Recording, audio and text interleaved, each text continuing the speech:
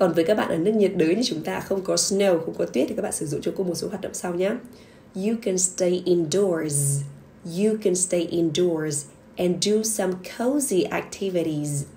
You can stay indoors and do some cozy activities such as drinking hot chocolate. Drinking hot chocolate or drinking hot coffee.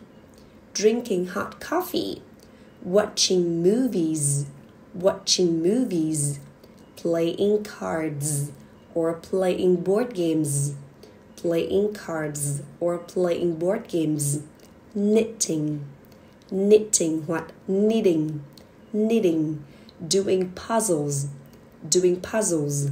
Okay, bạn ghi nhớ câu, này nha, nói lại nè. You can stay indoors and do some cozy activities such as drinking hot coffee or hot chocolate, watching movies, playing cards or playing board games, knitting or doing puzzles.